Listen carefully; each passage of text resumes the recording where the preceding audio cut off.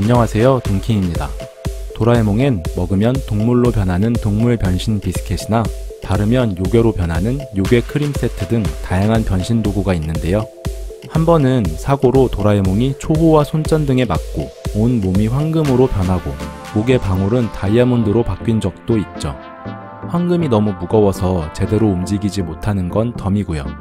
그래서 오늘은 도라에몽의 파격 변신 top 3를 모아봤는데요. 지금 바로 시작하겠습니다.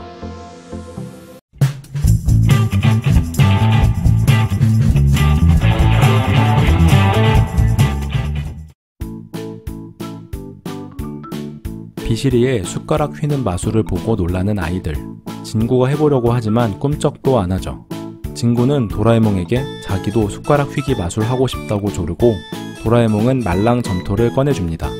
이걸 물체에 뿌리고 나서 그 물체를 잡아당기면 모양이 자유자재로 변하는 도구인데요.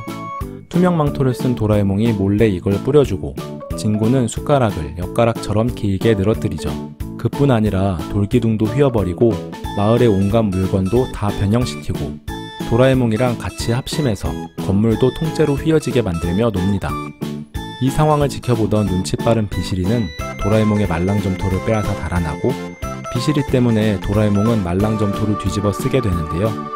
그 뒤로 롱다리 도라에몽, 병라에몽, 꿈틀이 도라에몽 순으로 변신했다가 공사장에서 한 번쯤 봤을 저 기계에 깔려서 종이장처럼 얇아지기도 하고 심지어 뱀처럼 변하기도 합니다. 저는 개인적으로 뱀라에몽이 제일 귀여운 것 같네요. 찍어도 반은 맞아야 하는 OX 문제를 빵점 받은 진구. 이제는 도라에몽이 잔소리해도 꿈쩍도 안 하는데요. 도라미는 아이 돌보는 로봇이 뭐 이렇게 물러 터졌냐면서 네모난 모양의 딱딱하게 액이라는 도구를 줍니다. 이걸 마시면 아무리 물러 터진 성격이라도 엄하고 철저하게 바뀐다는데 도라에몽은 진구를 더 엄하게 돌보기 위해 이걸 원샷하고 고통에 몸부림치더니 온 몸이 네모나게 변합니다. 그리고 정말 엄하게 바뀐 성격. 바로 진구를 책상에 앉히고 공부시키고 초 단위로 시간표를 짜기도 하죠. 진구는 살려달라고 하지만 얄짤 없습니다. 그 뒤로 도라에몽은 밥이랑 반찬도 다 각지게 만들고 한잔하고 오신 아빠한테도 폭풍 잔소리. 아침에 온 가족 다 깨워서 체조까지 시키는 피곤한 성격이 돼버렸습니다. 그 후 동네에서 네모네모 빔을 뿌리며 온갖 민폐를 끼치고 오히려 진구가 말썽 부리는 도라에몽을 말리기까지 합니다. 점점 증상이 심해지자 진구가 도라미에게 받은 둥글게 액을 먹이고 도라에몽은 원래대로 둥글둥글하게 돌아오는데요.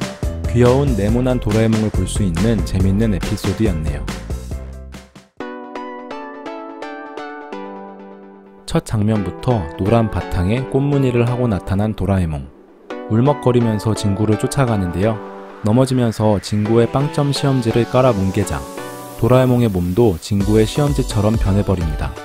무늬를 닦아주려고 스펀지로 문지르자 도라에몽의 몸은 스펀지 무늬와 색으로 다시 변하고 갈색 수세미로 문지르자 또 변하는 도라에몽. 핑크색 수건으로 물기를 닦아주니 핑크 도라에몽으로 줄무늬 수건으로 닦아주니 줄무늬 도라에몽으로 커튼에 기대니 커튼색 도라에몽으로 변합니다. 신기해진 진구는 이것저것 시험해보는데 닿는 족족 그 물건과 같은 색과 무늬로 변하죠.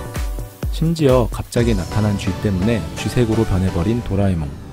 비겁한 도라에몽은 집 밖으로 도망나가고 진구는 인스턴트 패션 왁스 때문에 도라에몽이 변한 걸 알게 되죠. 원래대로 되돌리려면 도라미가 준 스프레이로 왁스를 닦아내야 합니다. 그 사이 밖에서 도라에몽은 퉁퉁이 옷 무늬로 변신하고 이슬이 손수건인 핑크색 하트 땡땡이 무늬, 비실이 손수건 무늬로도 변신합니다. 아이들은 도라에몽에게 가장 어울리는 색을 골라주자고 하는데 하나같이 도라에몽 마음엔 들지가 않네요. 우울해진 도라에몽은 결국 파란색 페인트를 통째로 뒤집어 씁니다.